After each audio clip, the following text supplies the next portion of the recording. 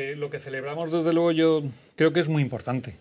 Que celebremos que, gracias a la conquista de Valencia, dejó de ser un reino moro y convertirse en un reino cristiano y que nos ha traído hasta ahora dentro de, de Europa, pues mm, yo creo que es muy importante y eso hay que celebrarlo todos los días y decirlo todos los días. Bueno, por aquí ponían caras al eh, Bueno, comentario no, de el- Pepe, sí. por el- por el tinte un poquito Pobre. racista Sí. ¿eh? que tenemos. ¿Por qué?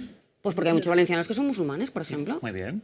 Ah, pues fenomenal, pues ya está. Entonces no, no celebramos que tiramos a nadie, celebramos que nacemos como pueblo Bueno, y celebramos pues las cosas que nos unen. tu bueno, cada uno celebra lo que quiera, como yo, claro, como yo La celebro la unión